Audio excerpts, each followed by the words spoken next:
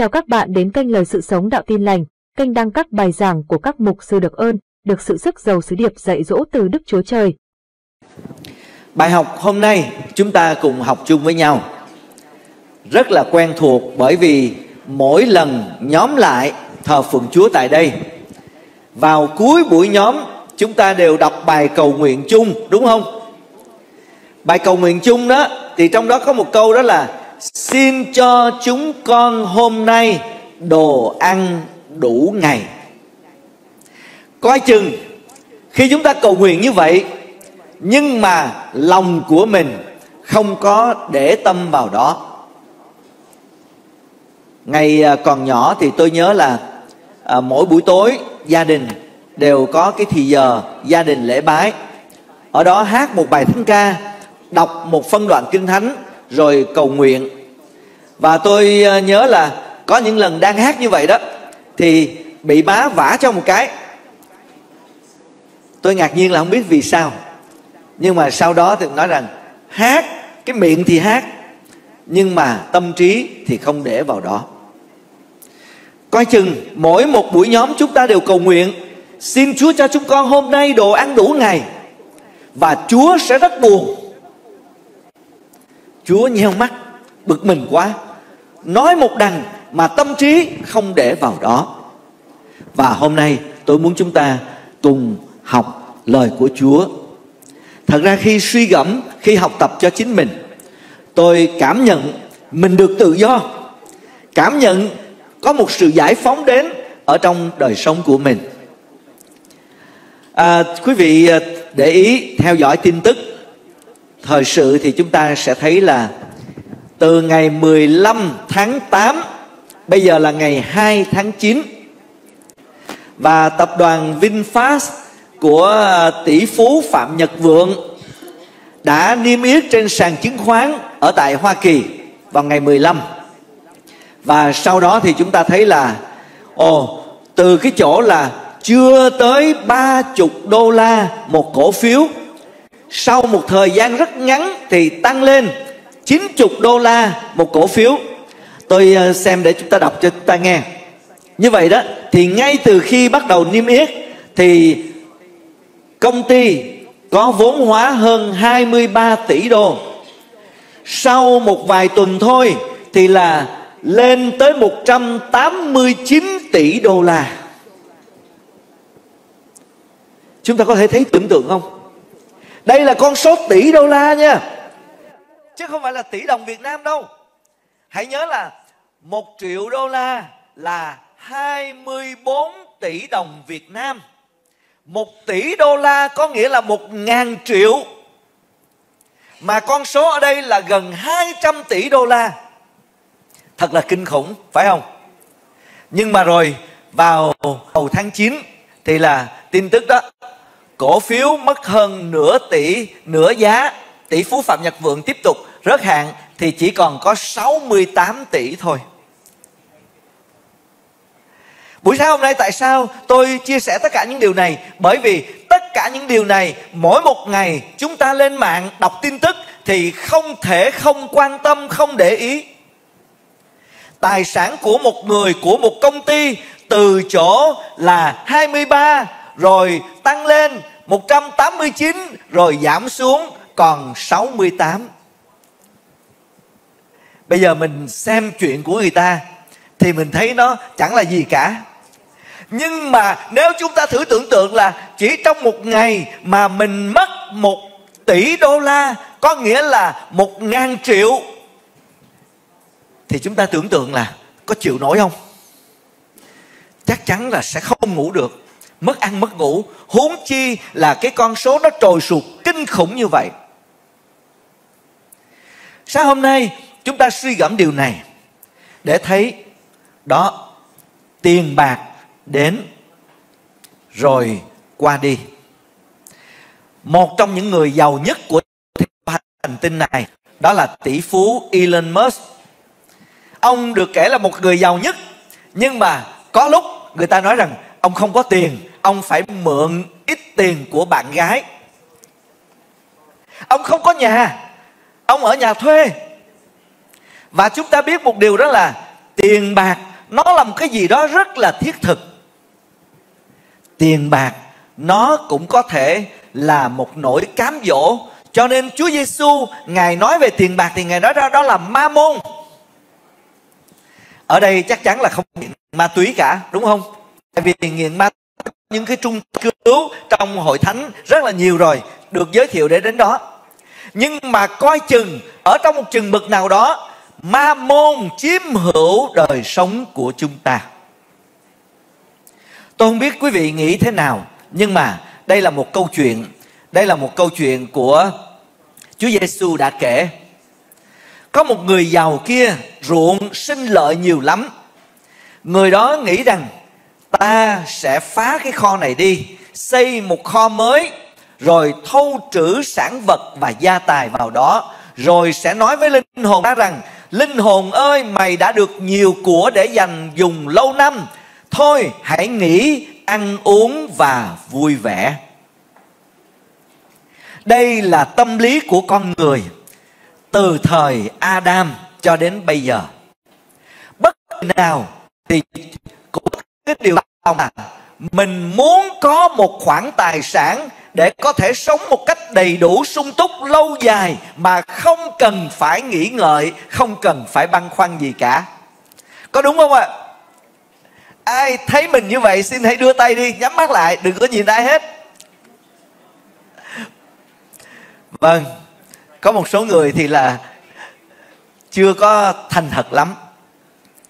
Tôi thì là tôi đã trải qua một cái giai đoạn ngắn thôi nhưng mà lúc bây giờ đó thì là tôi quá nghèo. Chỉ có được một chiếc, chiếc áo sơ mi.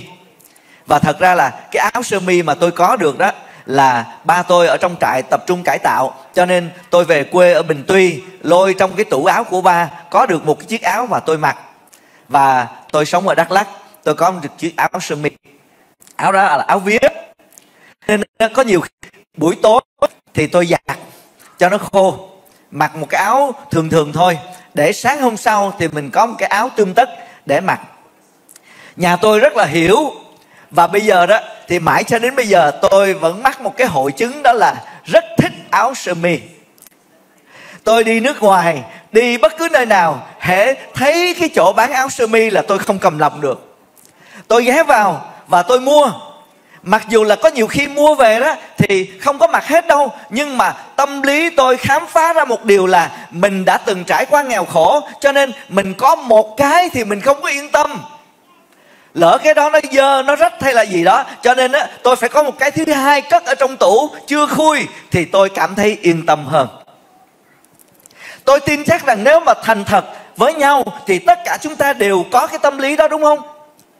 Mình có tiền cho một tháng vẫn chưa yên tâm bởi vì cái rồi tháng sau thì mình sẽ thế nào? Mình có tiền trong một năm dành dụng nhưng mà vẫn chưa yên tâm bởi vì nghĩ rằng rồi sang năm thì tiền ở đâu mà sống. Cũng trong tuần vừa rồi thì à, một người à, một người gì của tôi điện thoại cho tôi và nói rằng, con ơi, dì thiếu thốn quá, con có thể giúp cho dì một chút gì đó được không? Tôi ờ, nói rằng làm sao để gửi cho dì đây? Rồi sau đó thì nói chuyện, hỏi thăm thêm và tôi hỏi là, dì ơi, dì đang có một căn nhà phải không? Dì nói, đúng. Hỏi căn nhà của dì đó thì bây giờ nó chừng bao nhiêu tiền? Dì nói ờ, chắc bốn năm trăm triệu gì đó. Tôi nói, dì ơi, dì nên bán cái căn nhà đó đi. Đó, bây giờ dì thử xem là dì còn sống bao lâu nữa dì bán cái căn nhà đó đi dì chia đều ra dì có thể xài ít nhất là 10 năm không cần phải lo nghĩ gì cả. À, nhiều năm trước khi à, ông cụ thân sinh của tôi còn sống đó thì lúc bây giờ ông bắt đầu nghỉ hưu và ông cứ nằm ông than thở ông đây bây giờ về hưu rồi không biết tiền ở đâu mà sống. À, hưu trí thì tổng liên có cho mỗi tháng có 300 thôi không biết là tiền ở đâu mà sống đây và tôi nói rằng, ba ơi, ba có một căn nhà. Một cái căn nhà đó trị giá vài tỷ đồng. Mà sao ba lo chi mệt vậy? Bây giờ con đứng ra con quản lý cho ba nè. Bây giờ đó, ba tính hết thử xem là mỗi một tháng ba tiêu xài một cách thừa mứa. Tại vì nhiều khi đó, người già tiết kiệm lắm buổi tối, vô nhà thấy đèn tối thui à. Hỏi sao ba không bật đèn? Tốn điện con ơi. Nóng mà không dám mở quạt. Sợ tốn điện ăn thì là các ca các cụm. Và tôi nói rằng, ba cứ tính ra đi. Thử xem là mỗi một ngày ba chi tiêu thừa mứa cho dư dật đi là tốn hết bao nhiêu. Rồi ba nói, và tôi chia ra. Tôi nói, bây giờ đó, con tính cho ba má nghe nè. Với cái căn nhà này, ba má có thể sống dư dật thừa mứa trong hai chục năm nữa đó. Bây giờ ba không bán, thì con sẽ làm như thế này. Mỗi một tháng, con sẽ tìm cách con ứng ra cho ba cái số tiền ba cần. Ba cứ tiêu đi rồi ghi sổ cho con. Mai mốt nếu mà ba qua đời đó thì mấy em làm chứng con bán cái nhà con sẽ lấy lại cái tiền con chi cho ba rồi còn lại thì chia cho các em. Thế là ba nói ừ con nói vậy ba nghe rất là hay ba yên tâm lắm. À, được một à, đâu chừng hơn một tháng ba ông bắt đầu ông à, ông dự định là ông sang tên ra qua cho tôi để tôi quản lý cái căn nhà đó bởi vì thấy hợp lý quá mà. Nhưng mà khi có ý định á, sang tên qua thì tôi nghe râm ran ở đâu trong vòng chị em đó trong vòng các em tôi đến thăm ông thì ông nói cái nhà ni nhưng mà đâu phải của mình nữa đâu. Nhà ni đó là sang tên qua cho nhẫn rồi. Tôi nghe tôi giận quá. Tôi nói ba ơi ba nghĩ sao vậy? Thôi bây giờ con không có làm chuyện đó nữa đâu và quý vị biết không trong lúc đó, đó tôi suy nghĩ đến cái việc đó là nếu mà mình thành lập một cái công ty quản lý tài sản cho những người già thì cũng sẽ rất hay đó. Bởi vì giúp cho những người già người ta yên tâm người ta sống cho những năm tháng cuối đời. Và rồi cái công ty đó cũng sẽ có một số lợi nhuận nữa. Bởi vì việc như vậy hợp lý quá phải không? Có những người già có một cái khoản tài sản nào đó bây giờ cứ trích ra đưa cho họ. Rồi ba qua đời. Và rồi lúc ông qua đời thì sau đó một năm trước khi ông qua đời thì ông đâu còn biết gì nữa đâu. Bây giờ đến lượt má cũng vậy đó. Má cũng vậy tôi không dám gợi ý với má nữa. Nhưng mà quý vị có thấy thật không? Có rất nhiều người có một căn nhà hay là có một ít tài sản nhưng mà cứ lo và nghĩ rằng thôi bây giờ mình không biết có cái gì để ăn không biết phải sống như thế nào. Và nhiều khi hỏi căn nhà đó để làm gì? Căn nhà đó để, để chia cho con chứ để làm gì? Chúng ta thấy quá vô lý, đúng không hãy nhìn lên câu chuyện này Chúa Giêsu đã kể một câu chuyện ẩn dụ về một người nhà giàu và chúng ta chỉ quan tâm đến khi khía cạnh là người này cảm thấy yên ổn vì của cải của mình sẽ còn sống được rất lâu ngày. Vậy là yên tâm rồi. Vậy là bảo đảm rồi. Nhưng mà Chúa nói gì? Hỡi kẻ dại. Trong những ngày qua, khi suy gẫm về điều này tôi thật sự được học rất nhiều. Nhiều người ở đây đã từng có những cái món tiền có những cái tài sản có thể là vài chục triệu có thể vài trăm triệu. Tôi đã từng thấy ở trong cái tài khoản của mình hàng nhiều tỷ đồng. Nhưng mà rồi sau đó thì nó cũng không còn bao nhiêu. Và tôi tiếc tôi buồn. Tôi buồn trong lòng. Chúa ơi, tại sao chúa cho con đã từng nắm năm bảy tỷ đồng mà bây giờ nó như thế này? Tôi buồn. Và khi tôi bắt đầu suy gẫm cái điều này, thì tôi thấy một điều. Chúng ta biết ở trong xuất y tô ký đó, thì câu chuyện về việc mana. Không biết là các con có đọc cái câu chuyện về mana chưa? Bây giờ hãy nghe khi dân Israel vào trong đồng vắng thì chúng ta nhớ là đồng vắng là sa mạc lúc bây giờ họ là những người du du mục du hành cho nên không thể trồng trọt được và trong sa mạc không có lương thực để ăn đâu và Đức Chúa Trời đã dùng một phương tiện đó là mana để cung cấp thức ăn cho dân sự. Và chúng ta không có thì giờ đọc hết đâu, nhưng mà nói tóm lại đó là mana vào buổi sáng sớm thì ở trên trời cùng với sương hiện ra một cái vật nhỏ nhỏ rồi Chúa truyền lệnh là mỗi một người hãy đi ra lượm lấy cho mình, rồi đem về ăn ở trong cả ngày. Thế là Kinh Thánh nói rằng, người lượm nhiều thì cũng chẳng dư. Ai lượm ít cũng chẳng thiếu, mỗi người lượm vừa đủ sức mình ăn có người đó thì nghĩ rằng, bây giờ mình lượm cho nhiều đi. Để lại hai ba thùng luôn, để ngày mai ăn, ngày mốt ăn. Chứ còn lỡ ngày mai không có thì sao? Nó cũng giống như ý tưởng của người nhà giàu mà chúng ta đọc lúc nãy đó. Giống như ý tưởng của tôi đó. Bây giờ là phải mua thêm cái áo sơ mi nữa đi cho nó yên tâm chứ rồi lỡ cái áo này nó hư rồi thì sao? Và nhiều người trong chúng ta cũng nghĩ rằng, ôi, tôi phải có tiền chứ. 5 năm nữa, rồi biết ra sao? Lúc đó tôi không có làm được rồi tiền ở đâu mà sống? Và suy nghĩ đó, trong dân Israel cũng vậy. Cho nên có một số người thì thay vì Chúa bảo là hãy lượm đủ ăn một ngày, nhưng mà họ lại lượm nhiều hơn. Và Kinh Thánh nói gì? Câu 20 dân sự chẳng nghe theo lời môi xe một vài người để dư lại đến sáng mai thì sâu hóa ở trong vật sanh mùi hôi hám. Đó cái người mà không tin cậy chúa, người mà nghĩ rằng mình phải để dành. Ở đây có ai đã từng bị mất tiền không? Có. Bị mất vì đầu tư sai chỗ, đúng không?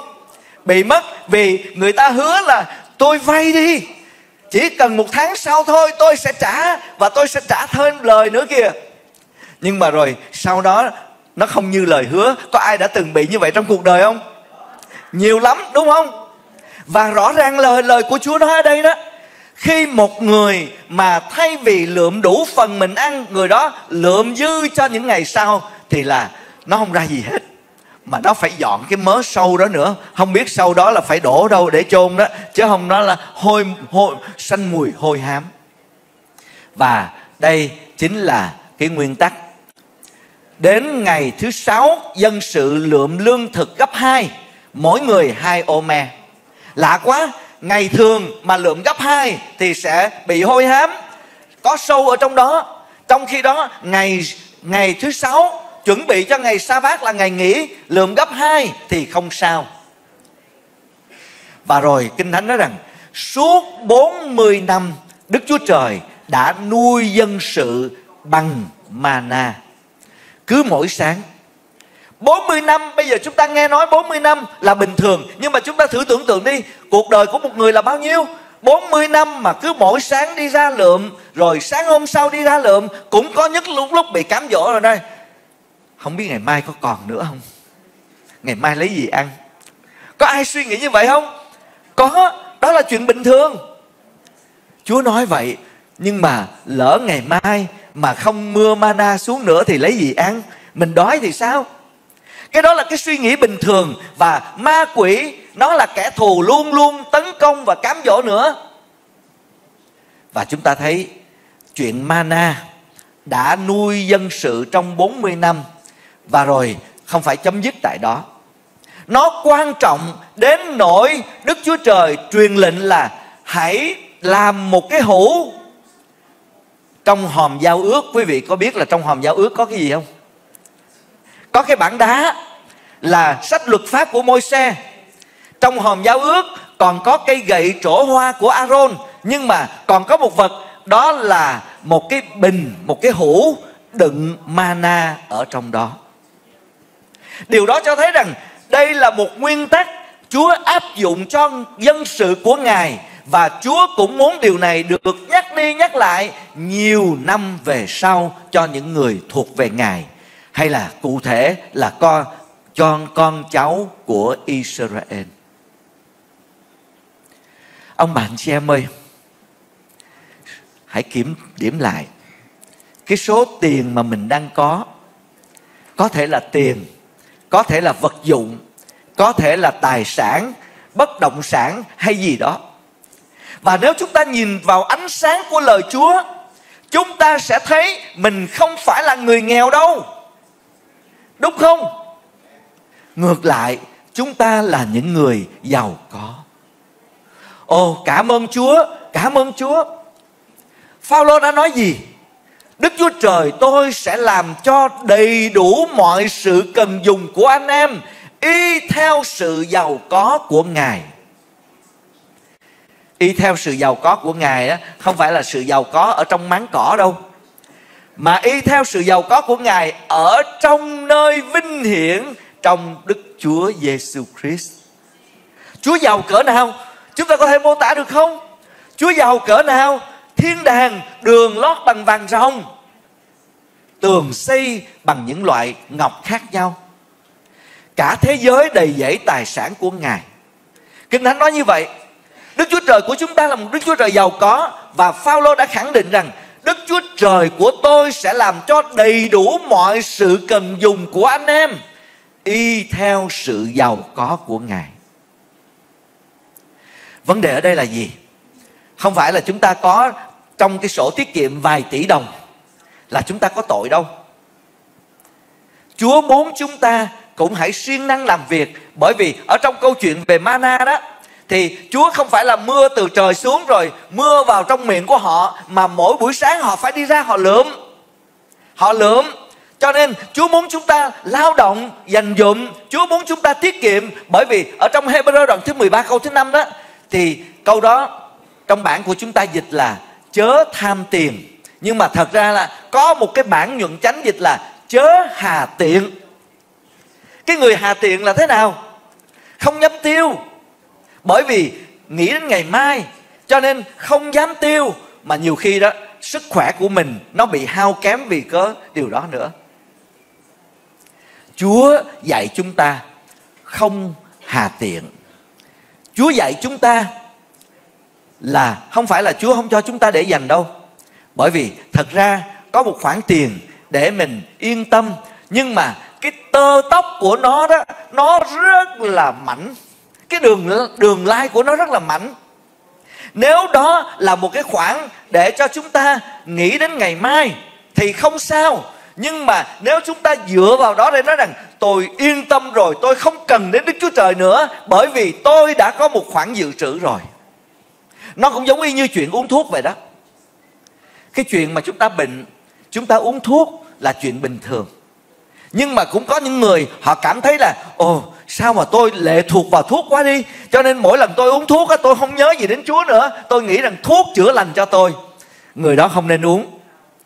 Và ở đây trong vấn đề tiền bạc cũng vậy. Nếu chúng ta có một khoản tiền dư, điều đó không có gì là sai. Nhưng hãy xem lại lòng của mình. Nếu chúng ta đặt sự bình an của mình ở trong đó, thì chúa thật là buồn dân sự, họ đi ra, họ lượm dư. Vì cớ, họ nghĩ rằng ngày mai chúa sẽ không chu cấp cho tôi nữa. Tôi phải tự lo liệu cái bữa ăn ngày mai của mình. Và chúa không đẹp lòng. Cho nên chúa bày tỏ qua một điều đó là nó trở thành sâu, nó trở thành vật hôi hám. Cảm ơn chúa. Đức chúa trời là đấng biết rõ mọi nhu cầu của chúng ta. Đức Chúa Trời là đấng biết mọi ao ước của chúng ta. Cho nên khi dân Israel vào trong đồng vắng, thì Chúa biết rồi đây trong suốt 40 năm dài, họ sẽ sống ra sao và không phải là họ nói rằng, Chúa ơi, xin ban cho con cái gì ăn, rồi Chúa mới ban mana đâu. Chính Chúa đã nghĩ ra đó là ý tưởng từ Đức Chúa Trời và Ngài đã chủ động để ban mana cho họ. Ngày hôm nay, chúng ta có tin cậy Chúa không? Chúa biết mỗi một nhu cầu của chúng ta. Chúa biết từng giai đoạn chúng ta cần gì và rõ ràng, có những giai đoạn thì Chúa muốn chúng ta yên nghỉ.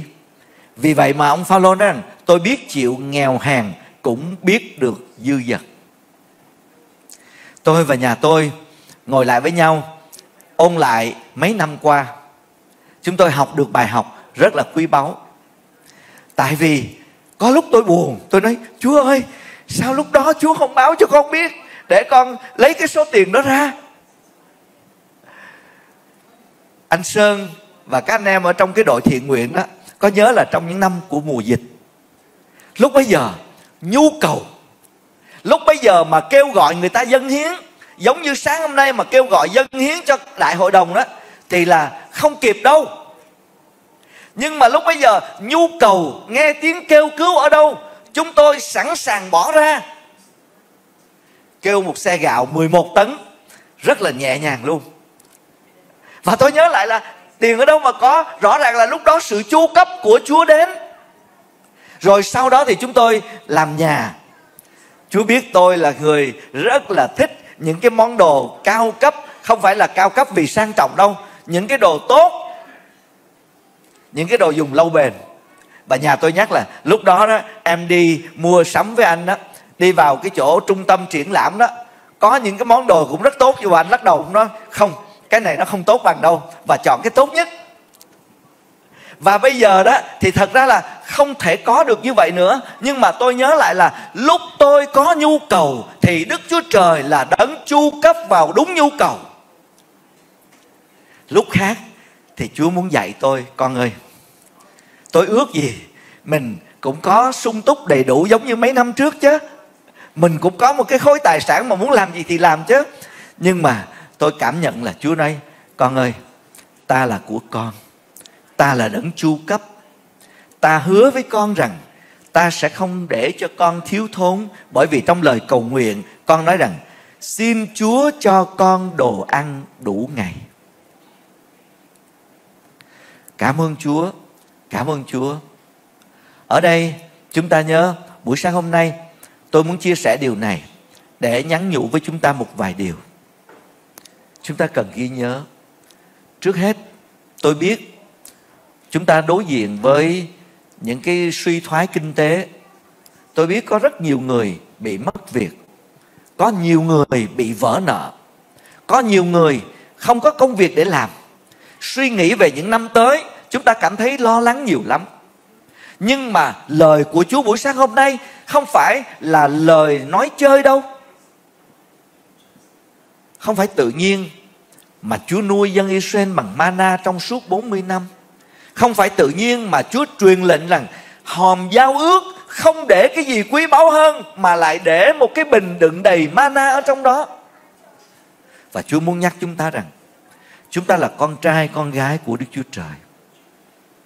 Ngài đã không tiếc chính con mình nhưng vì chúng ta hết thảy mà phó con ấy cho thì Ngài há cũng sẽ chẳng ban mọi sự cùng với con ấy cho chúng ta sao? Chúa chu cấp đầy đủ sự cần dùng cho chúng ta. Đó có phải là lời Chúa hứa không? Hãy xem loài chim trên trời, hãy xem loài hoa ngoài đồng, chẳng gieo gặt, chẳng thâu trữ mà cha các ngươi ở trên trời còn nuôi nó. Nếu chúng ta quá lo lắng lo lắng đến mức trầm cảm, nếu chúng ta nhìn vào cái tài sản của mình, chúa ơi, tại sao chúa đã từng cho con có hàng tỷ đồng bây giờ? Chỉ còn có vài chục triệu vậy thôi. Chúng ta sẽ làm buồn lòng chúa bởi vì ngài là đấng nói với chúng ta rằng, hãy xem loài chim trên trời, loài hoa ngoại đồng. Chúa chẳng bao giờ bỏ chúng ta đâu. Chúa muốn chúng ta tin cậy chúa mỗi ngày.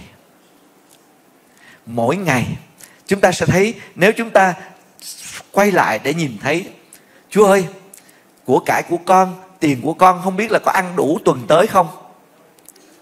Chúng ta thật là giàu hơn cái số đó, đúng không?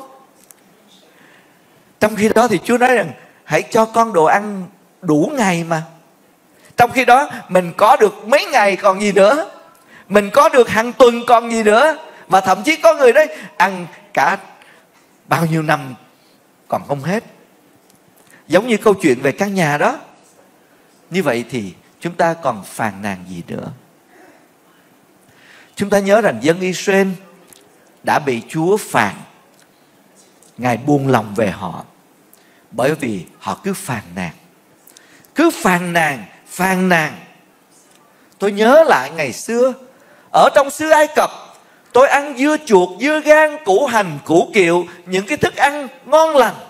Bây giờ, dẫn tôi ra đây ở trong đồng vắng để làm gì cho tôi chết à?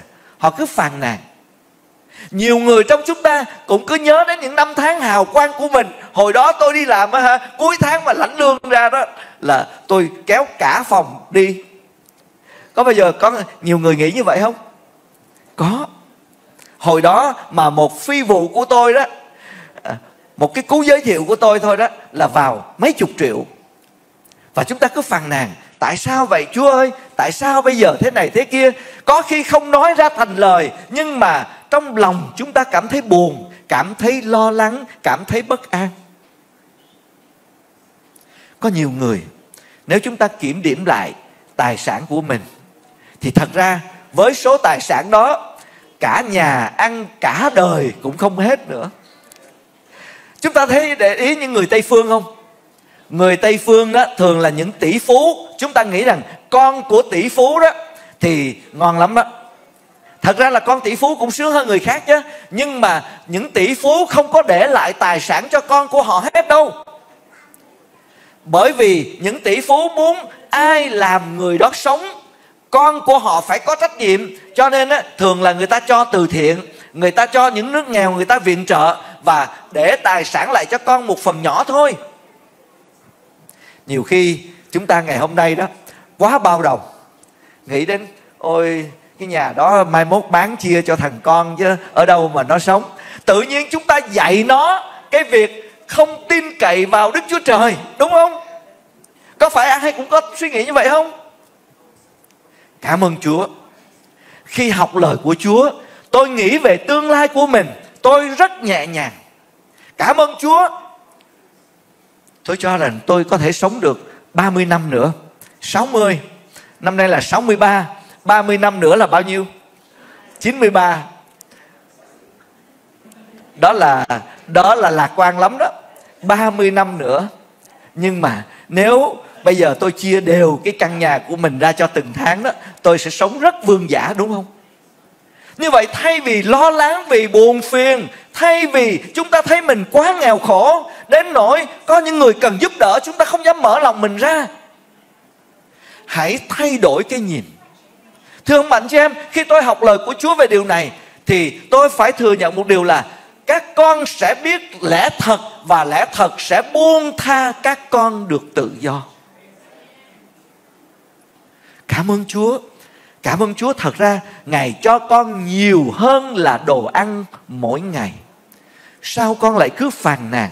Sao con lại cứ lo lắng và để cho mất thì giờ? Rõ ràng là có một cái thứ ma. Ma đó là ma môn. Nó chiếm hữu, nó chi phối đời sống của chúng ta. Cảm ơn chúa. Khi chúng ta bước đi và kinh nghiệm sự chu cấp của chúa thì chúng ta sẽ làm được như dân Israel ngày xưa.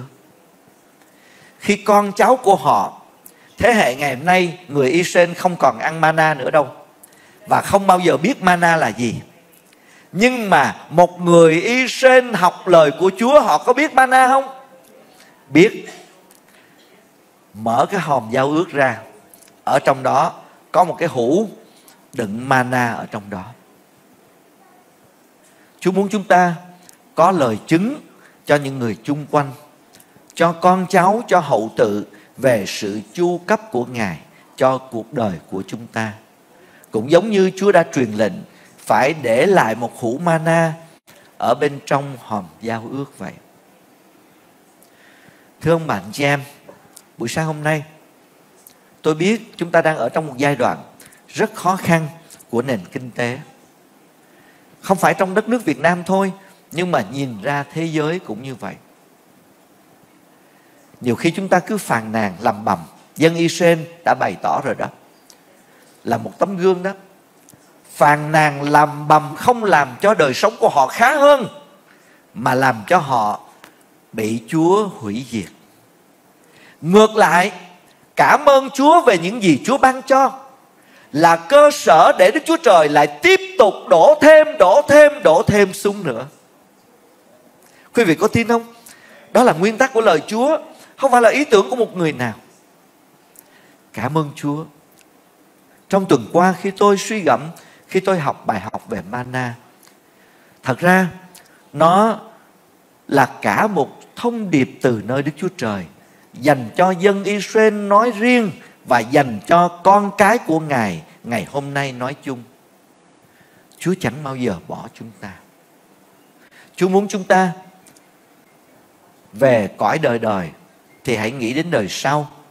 Nhưng mà về của cải vật chất thì hãy nghĩ ngày hôm nay là đủ cho con rồi bởi vì ngày mai sẽ có sự chu cấp đủ cho ngày mai ở trong châm ngôn thì có một người tên là Agurer ông đã cầu nguyện như thế này. Thật ra trước đây thì tôi tránh tôi tránh cái lời cầu nguyện này lắm. Bởi vì ai trong chúng ta mà không thích giàu, phải không? Tôi cũng nghĩ rằng giàu giàu thì tôi có rời rộng hơn để tôi làm công việc chúa. Nhưng mà chúa nói, con không cần phải lo lo bao đồng cho ta đâu. Công việc của ta thì ta sẽ có cách chu cấp. Còn thật, con nói thật đi. Con nói là con muốn giàu để con lo cho công việc chúa, nhưng mà có phải trong thâm tâm của con á, là con muốn giàu để con được yên tâm cho cuộc đời của con không? Để con được tự do, con không lệ thuộc vào người khác không? Tôi muốn hỏi câu hỏi đó với chúng ta buổi sáng hôm nay. Agurer đã cầu nguyện như thế này. Xin chớ từ chối tôi xin gian xa khỏi tôi sự lường gạt và lời dối trá. Chớ cho tôi nghèo khổ hoặc sự giàu sang. Hãy nuôi tôi đủ vật thực cần dùng. E khi no đủ, tôi từ tối chối chúa. Và khi tôi bị nghèo khổ, tôi trở thành kẻ trộm cắp làm ô danh của đức chúa trời. Ông đã trải nghiệm trong cuộc đời và ông đã cầu nguyện như vậy lời cầu nguyện rất tha thiết. Xin đừng từ chối tôi. Ở giữa một thế giới, người ta có thể tranh giành nhau, anh em sâu xé nhau, thậm chí con giết cha mẹ vì một khoản tiền rất nhỏ. Và cảm ơn Chúa. Chúa có lời của Chúa dành cho chúng ta. Hãy ghi khắc, hãy nghiền ngẫm nhờ ơn của Chúa để Chúa giải phóng chúng ta được tự do. Mỗi chúng ta rất giàu. Từng người từng người ở đây. Không có nghèo như mình tưởng đâu. Và khi chúng ta rọi mình trong ánh sáng của lời Chúa, chúng ta có thể Hallelujah, cảm ơn Chúa. Cảm ơn Chúa, cảm ơn Chúa. Xin mời hội thánh hãy đứng lên để chúng ta cầu nguyện.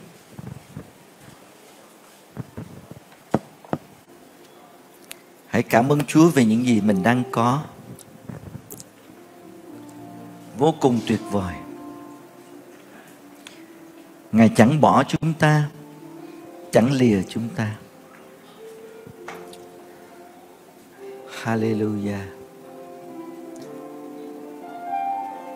Cho chúng ta có một lòng tin cậy nơi Ngài. Luôn luôn nhận biết rằng có một Đức Chúa Trời đang giàu có Không phải để phung phí, Nhưng để biết rằng mọi điều chúng ta có